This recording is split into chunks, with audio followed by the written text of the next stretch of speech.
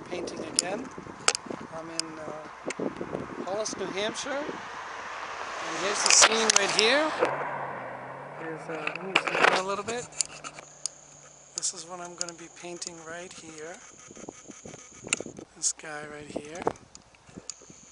And the color's a little off, but that's alright.